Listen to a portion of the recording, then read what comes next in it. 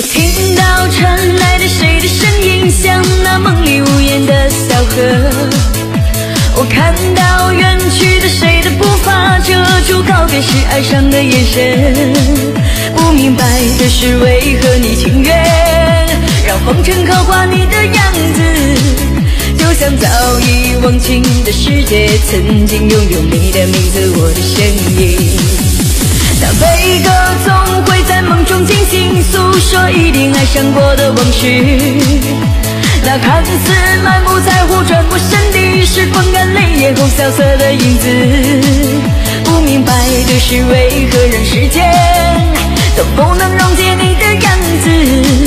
是否来迟了，明日的怨言早已写了你的笑容，我的心情。不变的你，伫立在茫茫的城市中，